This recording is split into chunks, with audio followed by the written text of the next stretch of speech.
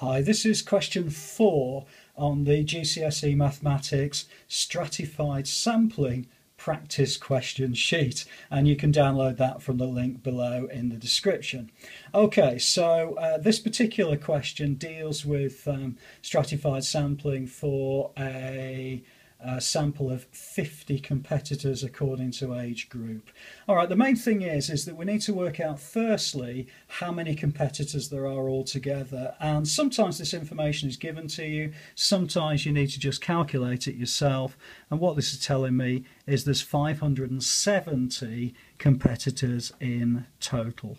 And then really most of these stratified sampling questions tend to follow the same sort of pattern. What we're looking to do is to create a fraction. In this case, if we're looking for the 16 to 18 age group, it's going to be 120 out of the 570 in total of the competitors and that's the fraction that we're going to be looking at stratifying which is of 50 that we've actually got within our sample. Now if you pop that into a calculator you're going to get 10.53 and therefore that's going to be fairly close to 11. Now sometimes as I think it is with this particular question is you need to just change these numbers slightly just to make sure that they all add up appropriately because if we look at the next two we've got in the 19 to 24 age group.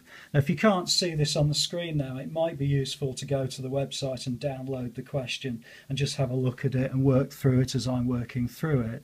I've got 250 out of 570 multiplied by 50 again and that's going to give me 21.93 which is 22 okay last one is going to be in the 25 plus age group and that's going to be 200 out of 570 multiplied by 50 and that's going to give me 17.54 which is equivalent more or less to 18. Okay, now we've only got 50 competitors in the sample group and if you spot that 18 plus 22 plus 11 is actually 51, we need to reduce one of these categories by one doesn't matter which one particularly. Um, I'm going to reduce the final one. So the 16 to 18 age group I'll leave as 11, 19 to 24 I'll leave as 22, but the last group I'm going to reduce now down to 17